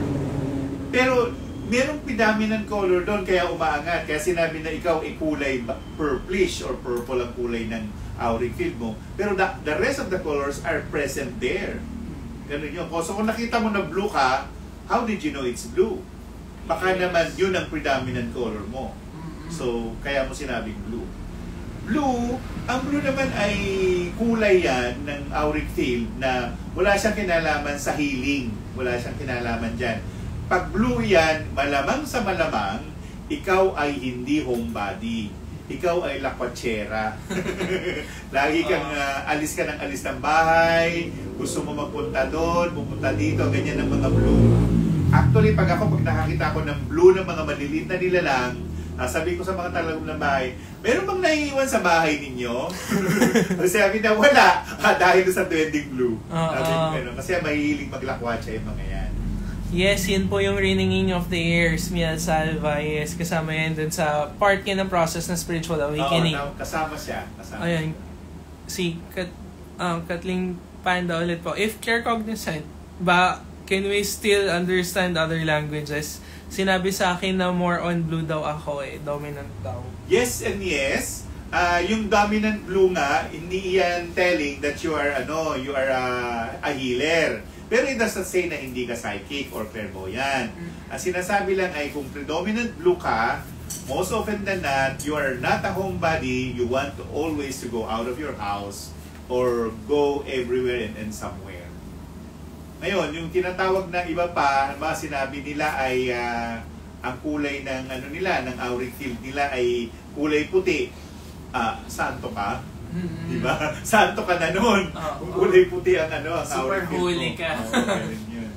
Ayun po may question daw po. Kung monotonous daw po yung naririnig. Yeah, kasama din siya. At saka yung ito pa, ang lingwahe kasi ng hindi hindi lang yung mga anghel. Ang lingwahe ng mga nilalang o mga unseen spirit ay hindi po lingwahe natin. Yes. Mga vibration lang. For example, ang mga duwende ganito magsalita. Zzz, zzz. Parang may nag-uusap na bubuyog. Mm. Zzz, zzz. Parang nag-ano ka, nagwe-welding. Ganun lang ang lingwahe nila. Now, if you're a clairvoyant, yun, matatranslate niya yun sa loob ng katawan mo. And you come to understand ano yung sinasabi nila. Mm-mm. Ganun yun. That's why minsan Tagalog yung nagre-register sa Oo, atin. Tagalog, Tagalog, yes, pero it's not really Tagalog. Oo. Na-translate mo lang yun. Mm-mm. Kaya mo kasing i-translate. Ah. How about po yung mga ano, ah, nag-speak in tongues? Iba yun, Holy Spirit yun. Pagka nasa trance state po Oo, yun, di ba? sa trance state, Holy Spirit yung nagsasalita na yun. Ang Holy Spirit po eh, Espiritu ng Diyos. Oo. Ayun, meron po kasi yung isang kasama rin po natin na ganun daw yung pizza niya. Ah, ganun. Dati. Tapos Holy ngayon, Spirit I'm yun. not sure lang kung nagaganon pa rin po. Holy Spirit yun. Actually, yung isa na meet ko na, na doktora, nung nagsasalita siya, pumipito lang siya, pero merong language. Mm. As in, pumipito lang siya, dahil tagahangin yung sumapi sa kanyang kantada, tapos nagsasalita ng puro pito, puro, puro pito, tapos saka lang naintindihan ko yung sinasabi niya, ah, ganun pala ibig niya sabihin. Pero pito ah, Oo. Yung whistle lang ang maririnig mo. Ganun. Ayan, from Kathleen, um, angels have other language talaga. It won't translate pa minsan unless you have the ability to do so. Yes! Kaya nga may pangalan ng ang language po nila ay Inukian. Yes. Enok, Inukian language. Iba Ang naman language yung- ng mga anghel. Iba naman yung Aramaic, ah. Oh, iba pa yun. Kasi ang Arabic is truly a language. Oo. Oo. Iba naman yun. Kasi mostly, at sa mga movies, ganun pagka ano. Aramaic. Tapos yung iba, no? Yan. Pagka demons, usually Aramaic Oo, tawag. kaya nga. May, may, yes. Mm. Meron ding Latin. Oo. Ayan. Yes, nag-auto-translate sila. Okay. So guys, kung may mga tanong pa kayo all about the spiritual awakening, please feel free to um, comment below. Okay? At most often than not, kung ikaw ay isang spiritually awakened, most often than not ha, hindi lang isang language or dialect ang alam mo. Mhm. Matututunan mo halos lahat ng lingwahe. Yes. At saka matatranslate mo rin kung ano yung gusto nilang sabihin sa'yo. Oo. For example, French. Oo. Ayan, maintindihan mo kagad. Um, for me, mga languages na mabilis ko may... Actually, language dito, mga Oo. dialects natin, Correct. na ano ko kagad, nagagets ko kagad. Tapos sa ibang bansa na Tsaka may mga language, process din, yung halimbawa, libro. Mhm. Yung libro po, hinihigang ko lang eh. Hindi ko binabasa yan. Sa akin, titignan ko lang. Tapos, tabi na. Uh, okay na. binabasa. Tsaka ang, ang ginagawa ko, kinakausap yung libro. Mhm. Ano bang ibig mo sabihin sa mga nakatulad dyan? Mm-mm. Ayun, dun maintindihan mo. Kasi nga, clairvoyant ka eh. Kung hindi clairvoyant, wala yun. At saka guys, pagka may mga anak kayong ayaw minsan nila basahin yung libro nila or di kaya tinatapon-tapon nila, hayaan nyo lang sila. Oo, kasi ano naman yun eh. Siyempre, boredom yan eh. At saka ibig sabihin din nun, may mga mali yung dun sa libro na yun. Marami nga eh. Mali, mga mali history nga, mali-mali mga nakasulat Oo. eh. Ayan. Um, ask lang, if you plan to try to be a healer, any tips on how to start or what? Una, mag-practice ka ng maging pescatarian or vegetarian or vegan. Yun ang unang-una. Kasi nga, kapag gumaga, ku- kumakain tayo ng, ano, ng beef o ng pork, nahaharangan yung ano natin, ito. Di ba, kanina pinag-usapan natin na yung, yung itong pinaka-existence na ito, ito lang po yung nasave eh. Ito lang ang nasave ni Jesus, hindi kasama to. O kung ito, ah, may harang dito, paano mong i- i-click yan dito? Kailangan magsama yan silang dalawa eh. Yes. At saka sa practice, kailangan nyo ng mga names like, halimbawa, yung chakra, no? Yung chakric field o yung tinatawag na sephirotic field, kailangan yun, alam mo yun, kung ano yun. At saka by numerology, yung numerology natin na yan, meron po yan corresponding sephirotic ah, angels. Kaya yun sila, isa sila sa kinukonjure. Yung sephirotic, alam ba, bigyan ko kayo ng example. Ah, si Rodrigo Du- Duterte, ipinanganak ng ah, April ah, 28. So, ang numerology niya, meron na siya agad 1. Kailangan yun, kilala mo si Keteriel. Kasi yun ang magko-correspond sa number 1. So, dapat kilala mo si Keter. At yun ang kukonjurin mo para maka- makapasok ka dun sa tinatawag na spiritual awakening. Ayan. From JM, how will we know ano dominant color ng natin? Yung Kung rainbow clear- color, Mm-mm. Kung clairvoyant ka, makikita mo kagad. Okay? Kung Rainbow talagang color. clairvoyant ka. Clair, ang clairvoyant naman kasi, hindi naman pinag-uusapan dito yung bukas lang yung third eye. Oo. Pinag-uusapan dito, lahat ng aspects of life, you go beyond the real thing. Mm-mm. Na, na nakakapasok ka doon. Tapos, yung tinatanong nila na auric field ng isang clairvoyant, most often than not, nakikita ng clairvoyant kung ano talaga yung kulay niya. At ang kulay po natin ay color of the rainbow. Yung Roy G. Biv na sinasabi. Red, orange, yellow, blue, indigo, violet. Yun, kasama yun. Ano tito pagka medyo goldish to white? Angel ka na nun. Wow, congrats. Yun yung auric field mo ngayon. Oh, angel ka na nun pag goldish to Oo. whitish. Okay. Eh sa akin kaya ano? White ka nga eh. Nawala na yung gold eh. Uh, uh, ayan, from, yeah, amazing. From, si Sir. Ayan, may kasama rin tayo dito, si Uh-huh. Queen Spider. ayan, um, Haradir, lahat po ba ng meat dapat walain sa diet or beef and pork lang? Actually, meron siyang certain point of time na hindi ka dapat kumain. Lalo na if you're a beginner. Kasi nung ako eh, nagsisimula pa lang akong mag-albularyo, talagang tinukahan ako ng mentor ko na hindi ka pwedeng kumain ng baka at baboy. Yun yun. Ngayon, kung hindi ka naman mag-aalbularyo, gusto mo lang ng spiritual awakening, siguro there is a point of time na hindi ka talaga kakain ng baka. Kung baboy naman, pwede naman. Kung hindi ka talaga magiging albularyo.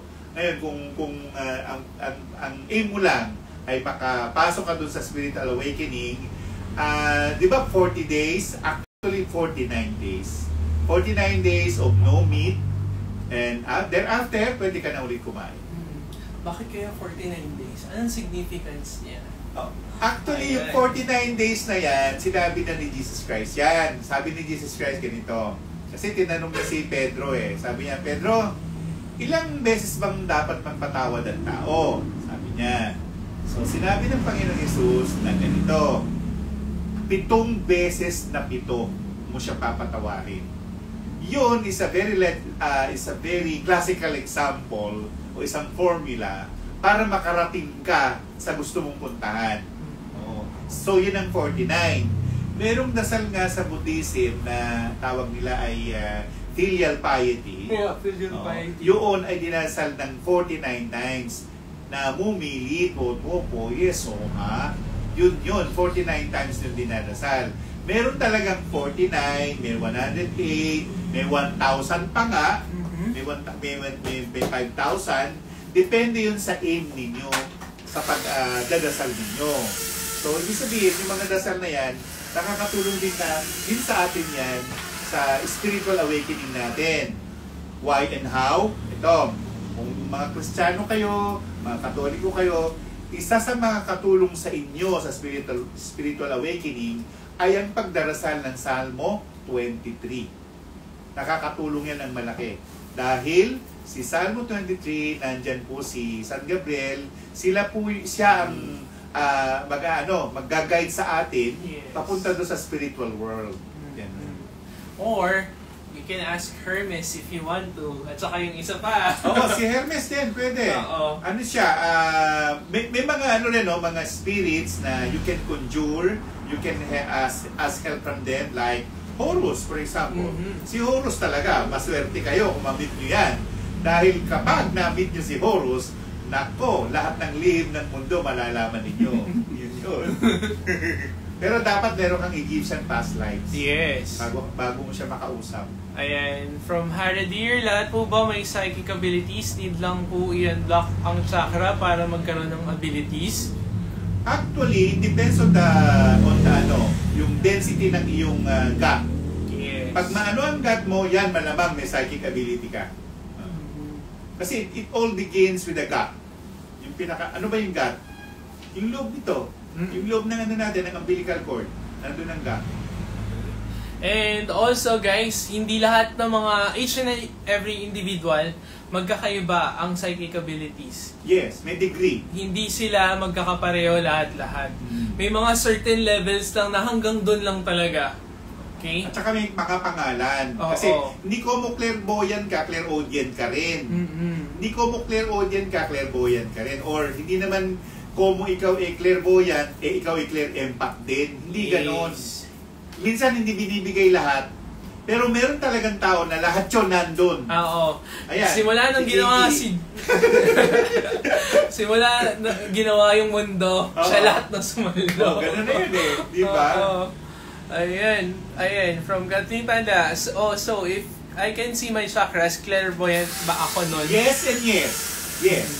Kung nakakakita ka ng chakric field or auric field, totoo yun. Ikaw ay clairvoyant. And from Zapdine, ang sound bath po ba nakakatulong mag-unlock ng chakras? Depende sa frequency. Yes, Merong may mga frequency certain yan. frequency. Every singing bowl or Tibetan singing bowl or crystal singing bowl, Ah. depende yan. Nakaklasify yan ng A to F yata. Okay? Di ba, maraming beses ko nang tinuro eh. Ito Hanggang ha, G. pakinggan ninyo ha.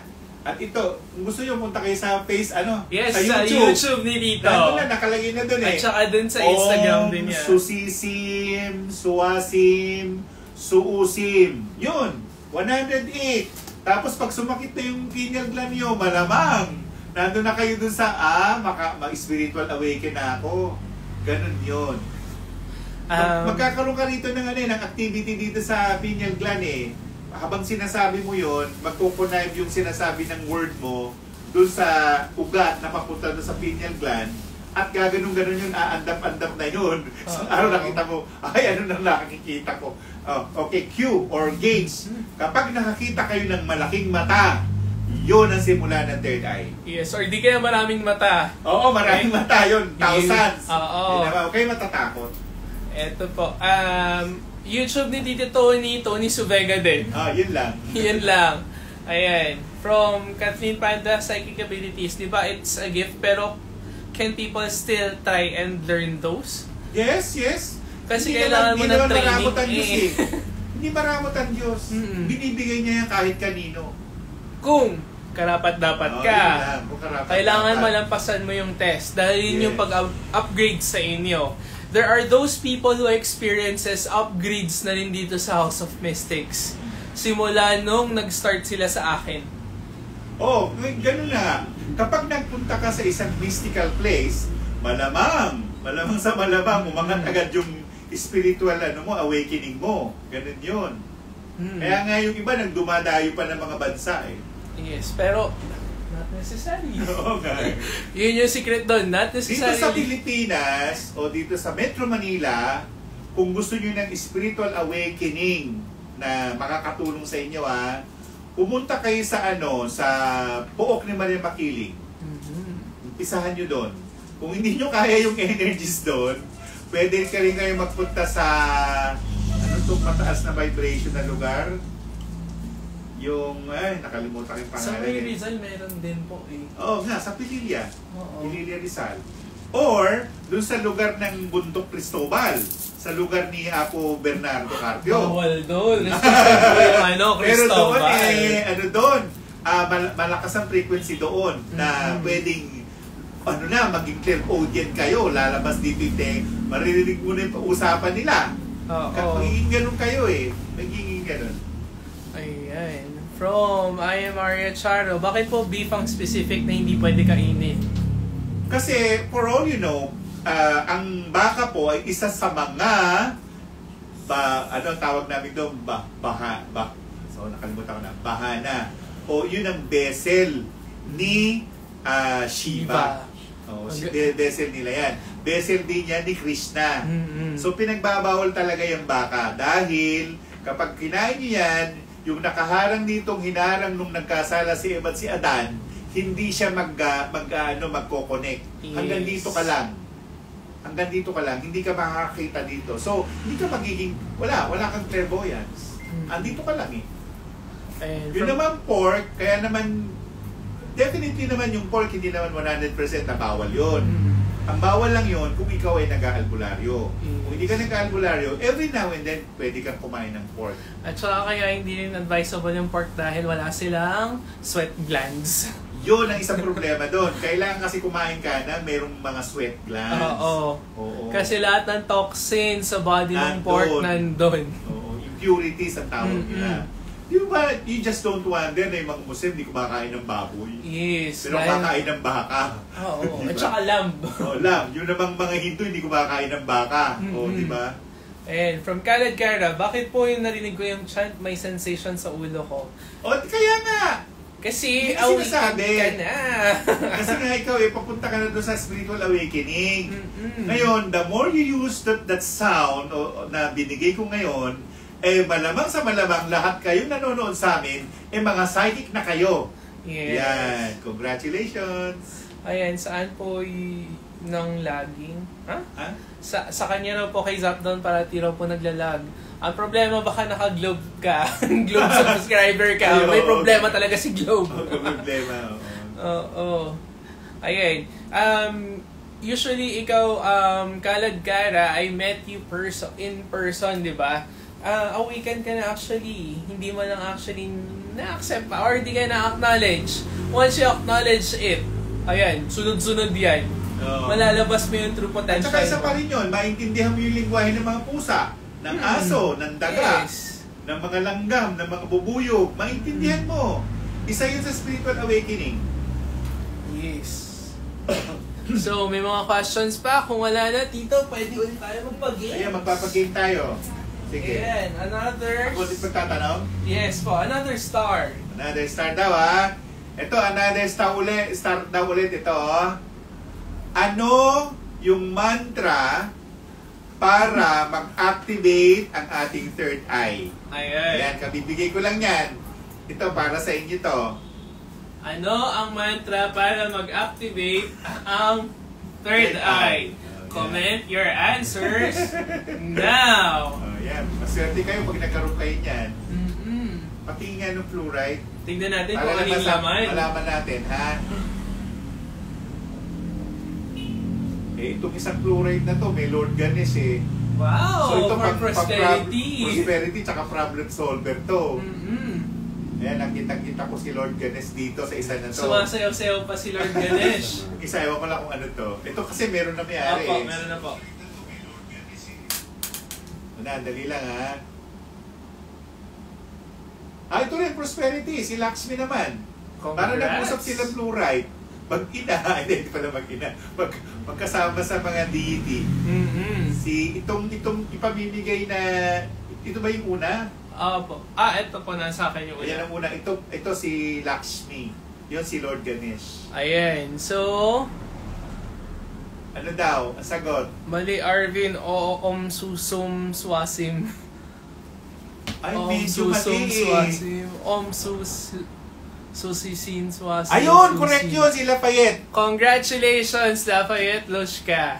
Yan, Now it's your time. Okay. Sa'yo si Lakshmi. Congrats! Si Lakshmi! And ang next natin na ipapa-raffle is... Hmm, Lagyan na tayo. Sige. Hindi ba siya pwedeng ila, i ano? Ano, joke. Ano, Ano ba totoo, Jake? Clear quartz na ano po, scepter. Ah, ito yung scepter. Oh, sorry na.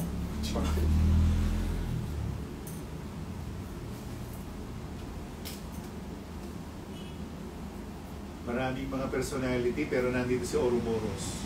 Ooh, swerte makakakuha nito. Makaka, makaka, makakaintindi ka ng mga sikreto ng buhay. Yes. Pag yan, pag yan ang nakuha mo. Ayan. Nung narinig ko yun siya, may narinig akong bells or ring. Ha, ha, ha. Welcome, Lafayette. Now it's your time na actually. Okay? Um, Tito, question po. Mm. Ano po yung question na para sa kanila? Ah, meron pa? Yes. Ah, ito, ito yung question. Okay, next question. Ang kasi kanina nagkukwentuhan kami ni JB, di ba? Yung ano, ano yung unang-unang natin pinagkwentuhan? Mm, spiritual. Okay, hindi yung unang-una. May meron tayong pinag-usapan doon eh. Object yun eh.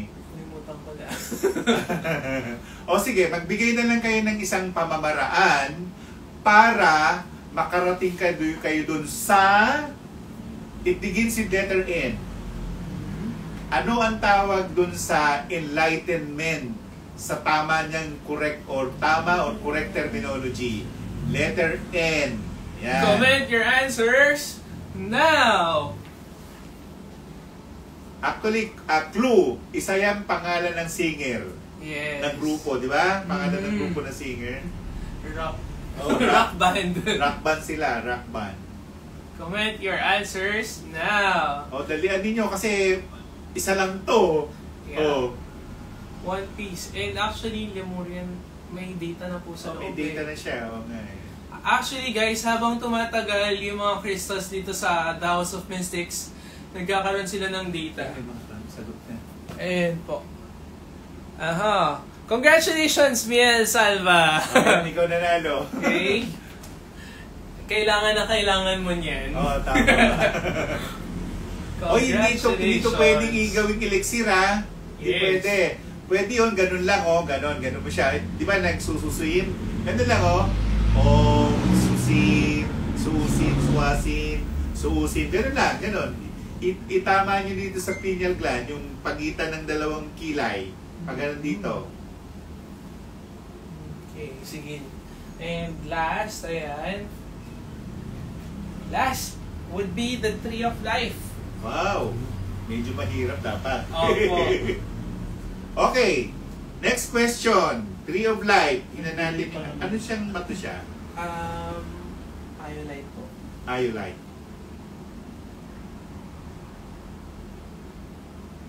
Maraming personality eh.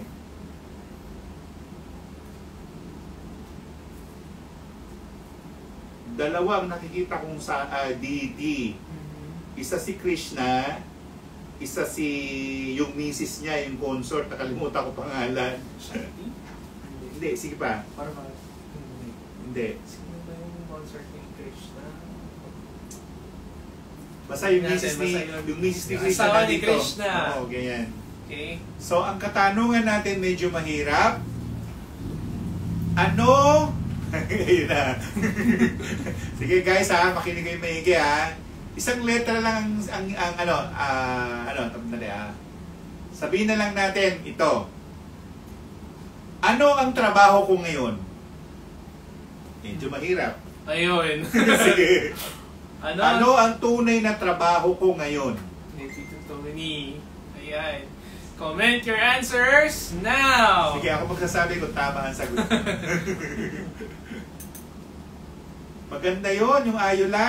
Mm-mm. Pamilya ng mga mga mga mayayaman. Si Sita. Si Sita. Ah, si Sita ang nandun. Ayan, from Arvin, spiritualist. Okay? Ay, tama na yun. Nanalo agad siya. Oo, congratulations, Arvin! Si Arvin. And advance happy birthday! Happy birthday. Opo, July. Oh. Mhm. Ayan. Actor Gimbiel. Tapos na yun, sabi na si Okay na. Mystic. Anong klaseng mystic? Spiritual healer. Ayan. Nakasagot na, may nanalo na. From DJ, singer. Ayan, sige. I'm, Tama nga lahat eh. Oo. Tama kayo lahat, kaya lang na-late kayo. Oh, sige guys, I'm feeling festive. I'll be giving out. Sige, Mystic Bond tayo, pamigay. Sige. So guys ha, kunin nyo ha. Kunin nyo yung mga... Kukunin niyo yung ano item nyo. ninyo dito. Saan si Mystic? So sige, isang manifest, cleanse, balance. yan. Okay? Mystic Bond. For the last question, Tito. Last question. Ito ay isang lugar sa Quezon City na kung saan nakausap ko yung dalawang duwende doon at ako ay binatawad. Ayun. Saang lugar yon sa Quezon City? It begins with letter K. Mhm. Nandun yun sa kanta. Oh. Kanta pati siya. Oo. Oo. Comment your answers now! And guys, itong ano, choknat, hindi para to sa nuno, ha?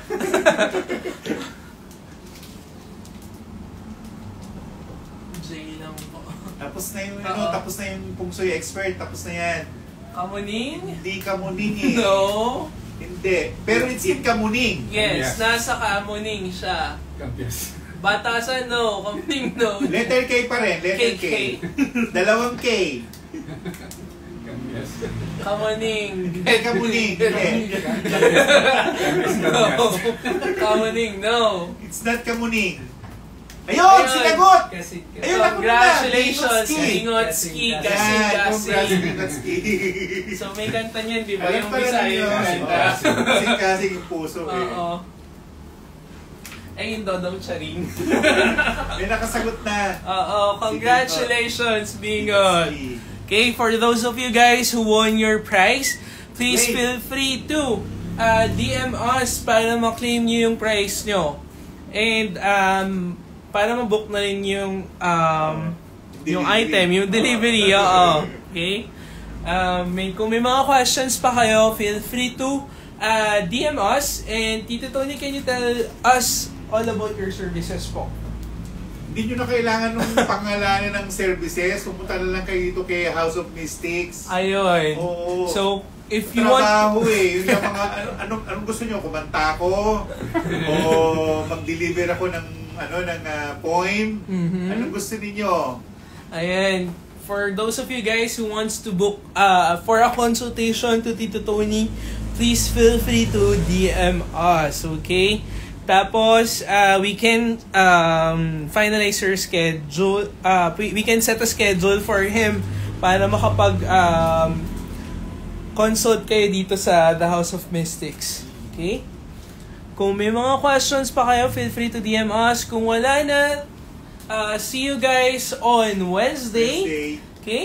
See you guys on Wednesday and watch out for our upcoming, I think it's a YouTube video diba? eh. Ang Oo. galing. All about the review Oh, ng merong review. 13. Merong review yung 13. Ayan. In-interview kami ni JB doon. Yes. Um, ang interview with, the interview with Ashley Goshen Fiao and Kevin La Peña. Okay? So, and meron din doon mga ano, bonus clips where Ay, marami. Nag-ano kami doon. Oo, bumigay kami doon. Oo. marami kaming isiniwalat doon na dapat yung panoorin talaga. Yes. At saka yung mga makikita niyo rin dun sa video kung ano yung ginagawa ko mostly. Oo, kaya. Ang dami ko rin tinitignan. Oo, Ang likod daw eh. ng mata ko. Okay? Ang dami kasi At orbs saka doon maraming eh. orbs. Ang daming orbs. Tapos may Doon na, mata na medyo natakot si Kaisel doon sa isang ano doon. dun sa likod kasi. Oo. Kasi may may sungay.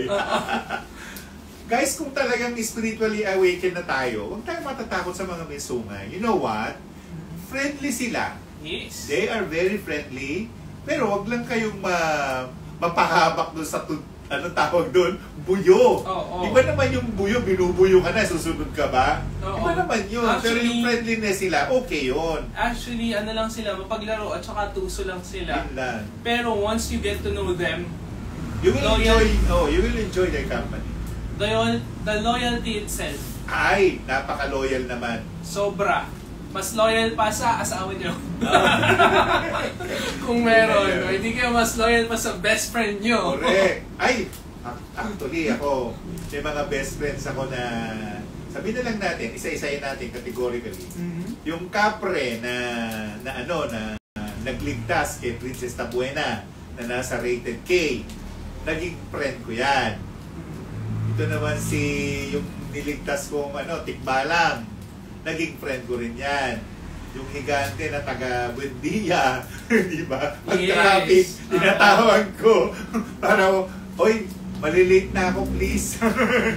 Lilipad ka na para sa kanila.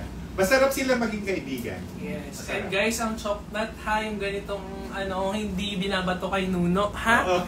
Okay, ayan. 13. Hindi to binabato kay Nuno, ha? Inaala yun, nilalagay pa sa isang yun. lalagyan. Ganun. At saka huwag kayo magbato-bato ng mga candies, kundi babatohin din kayo niya ng bato pag nabwisit sa inyo. Ayan, from... Ayan, thank you daw, Wonder, kay, ano. Wonder Ruby. Yeah, sige. Honey, no, it's lang.